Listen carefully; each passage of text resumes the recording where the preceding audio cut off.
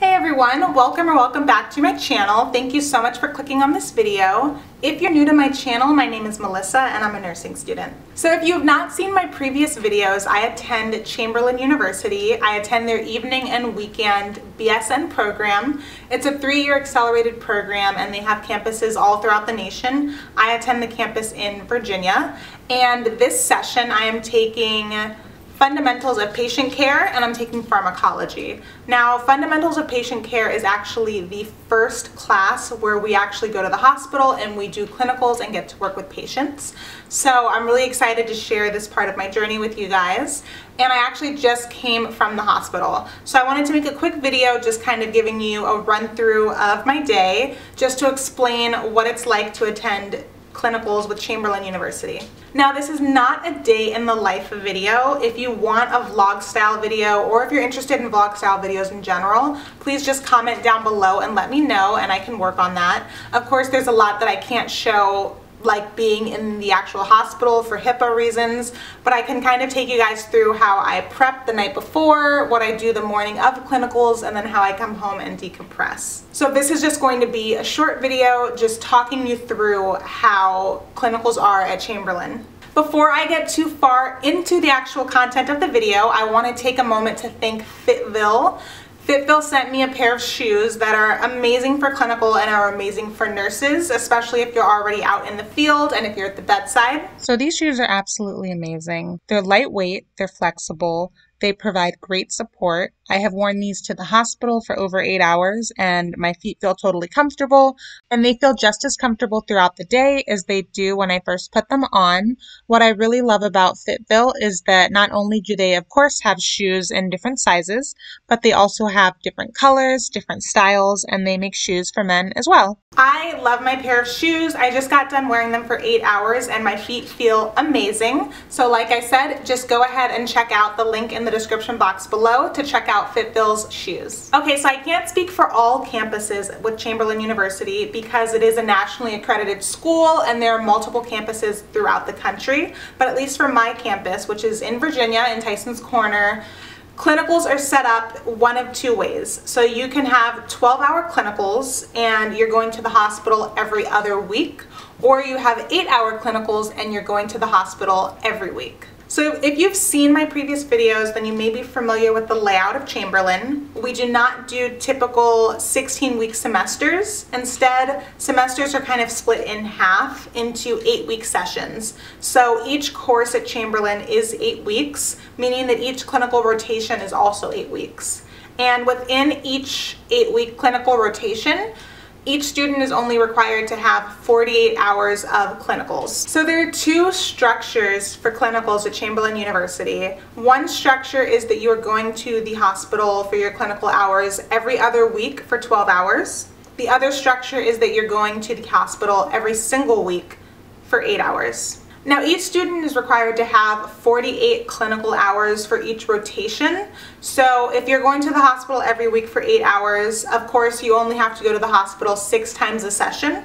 And that is the rotation that I am in. I go every week on Saturdays for eight hours. And then two Saturdays during the eight week session, we have a break. So during those two Saturdays, you either get alternative assignments or you do not have any assignments from your professor. And if you are doing the other schedule where you have to do 12 hour days, you will kind of be in teams. So half of your cohort will be going one weekend and then the other half will be going the following weekend and then you switch off, kind of like A and B teams.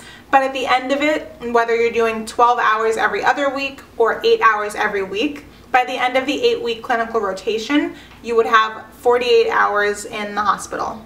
Now, of course, I'm not going to name which hospital I go to for clinicals, but I will say that every rotation you may have a different placement. It all just depends on placements, clinical spots, and where you're able to get into. So some of my cohort is at the same hospital that I'm at, some of my cohort is at another hospital, some of my cohort is in a nursing home.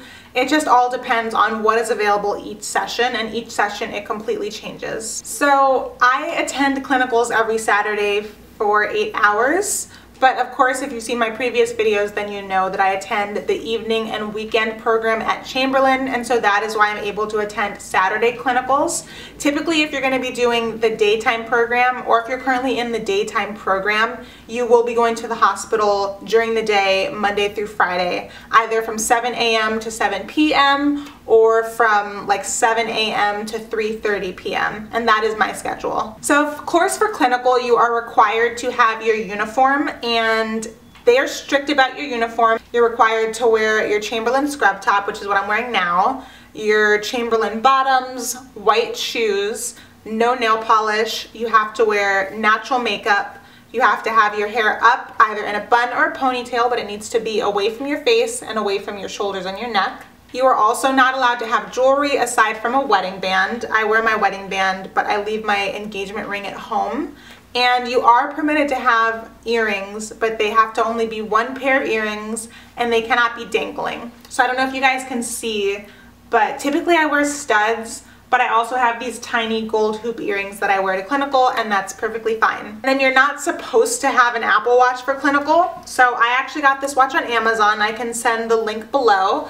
This watch is amazing. It's very rubbery, so it can get bodily fluids, it can get dirt on it, and I'm able to scrub it clean and it doesn't break. And it cost me less than 20 bucks, I believe. Like I said, I'll go ahead and link it in the description box below if you want to check out this watch. And then if you have tattoos, you have to have them covered up for clinicals. So I don't have any sleeves. I do have a couple of tattoos throughout my body, but they are hidden with my uniform. I have two tattoos that are exposed on my wrist I don't know if you can see it on camera. One is completely covered by my watch and then the other one you can kind of see so that's okay. But if you have sleeves you would be required to wear an undershirt. I believe it has to be either white or cobalt blue just to make sure that it adheres to the uniform. And then in addition to your uniform you also have to bring your stethoscope I had a whole fiasco week one where I forgot my stethoscope and my mom had to bring it from home and it was a mess.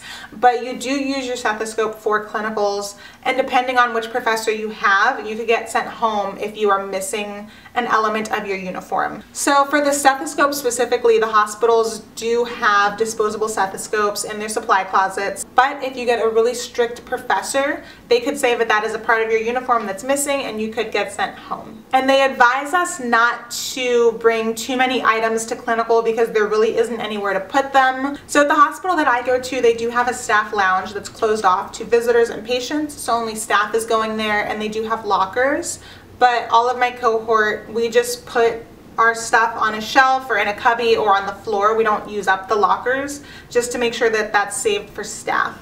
I personally would advise you not to bring anything too valuable to clinicals. So there's really not anywhere secure that you can put your things. I personally would not bring like a large duffel bag. I do bring my book bag. So I don't bring like my book bag and a purse.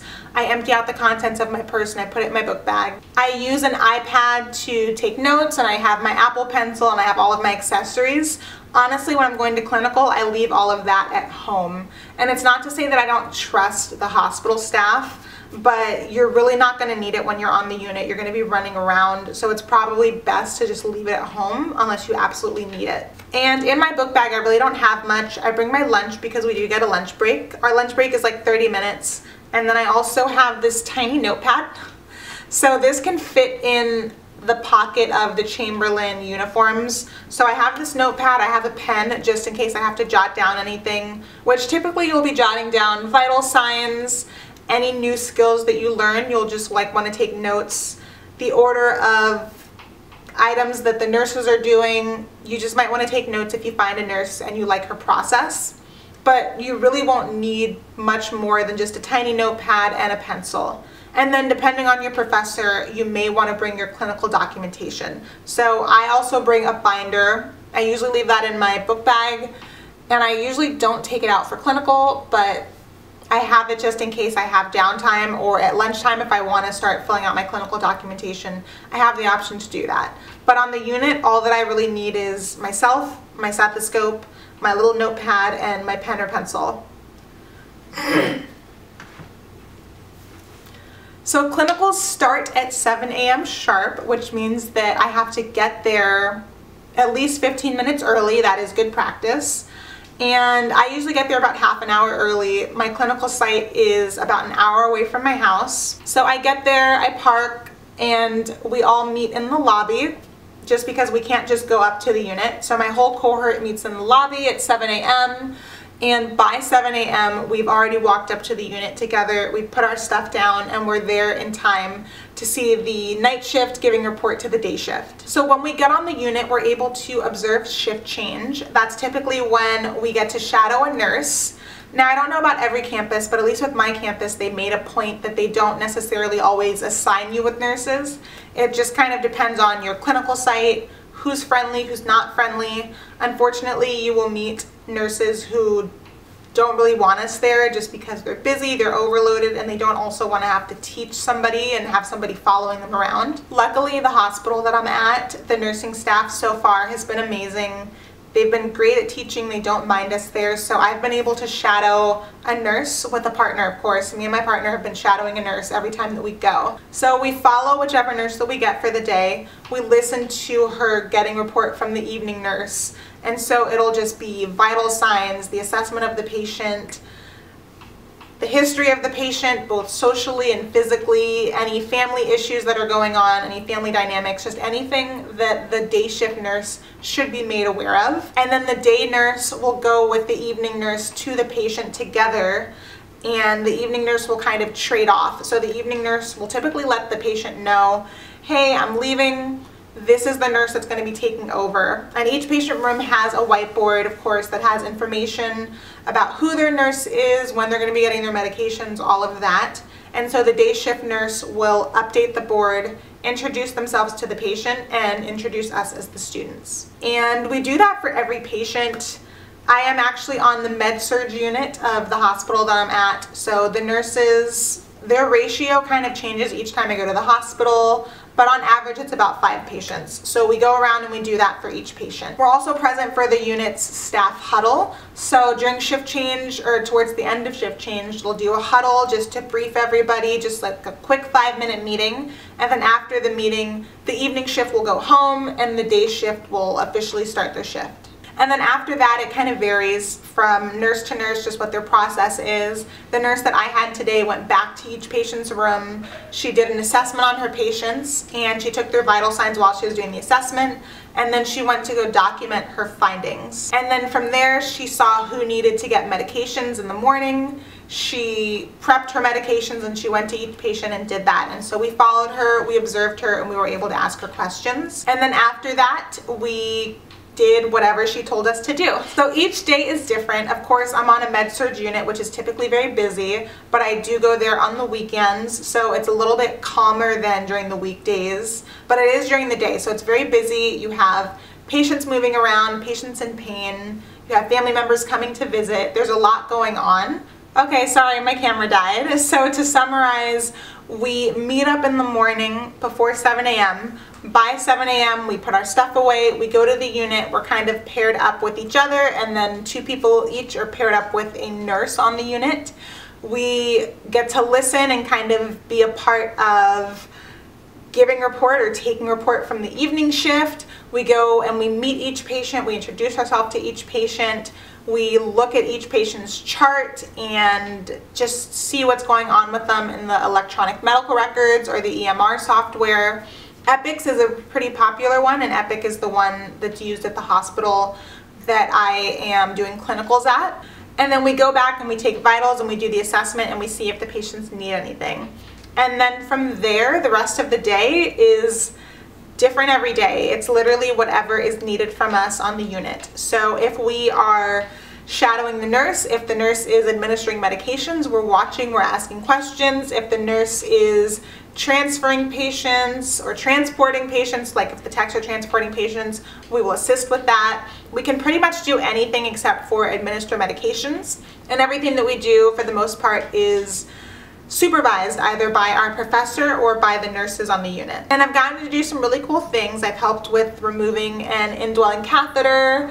I've gotten to do a real assessment on patients, which is very different than in the classroom with people that you know or with the mannequins or with your family members and friends. It's totally different doing it with a real patient who is in pain and who has a lot of questions. I've gotten to also take bowel sounds. For me, I had actually never taken vitals on a real patient before. So like I said, I attend eight hour clinicals this session. So about halfway through the day, my professor takes my cohort down to eat in the cafeteria and we're able to just kind of relax for a little bit before going back up on the unit. And we go back up on the unit, we're kind of paired with our nurse again. And again, it's the same thing that we were doing in the morning if we are stopped by a tech or a nurse who asks us to take vital signs or asks us to check on a patient, assist them to the bathroom, we'll do that. If we're going into patients' rooms or answering call bell lights, they may need water, they may just need anything, literally anything except for medications. If we notice abnormal vitals or any type of abnormalities, we'll notify the nurse immediately. And that's pretty much just a run through of clinicals so far.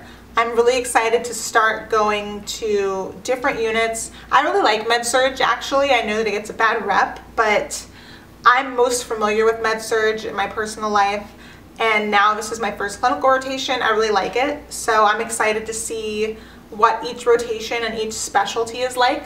And then of course, I think I briefly mentioned it, but of course with clinical rotations you have to do schoolwork, like actual written work. So we do have a fair amount of written documentation that we have to do. When we do the health assessment on the patient, we have written documentation that we have to do. When we do kind of like a 30 second assessment of the room when we first enter, just observing the patient, if they're using any assistive devices, if they're on oxygen, we have documentation that we have to do. At the end of each clinical day, we do a debriefing. So we all meet up the same way that we met up before clinical we meet up after clinical and we do kind of a debriefing and a reflection with our professor about what we learned and what our takeaways are from the day and then we have to document that and we have to submit that documentation every week. And that is a very condensed, very summarized overview of how clinicals are and what is typically done in a day. And again, this is at least for the med-surg unit. So I'm in a hospital, I'm on the med-surg unit, I'm not doing a specialty right now. And this is my first clinical rotation. So I'm learning a lot. It's definitely the basics, which is why, of course, it's fundamentals of patient care. If you have any questions or, like I said, if you want me to shoot more of a vlog style video, please comment down below. Thank you so much for watching. Again, check out the link in my description for Fitville shoes, and I'll see you guys in the next video.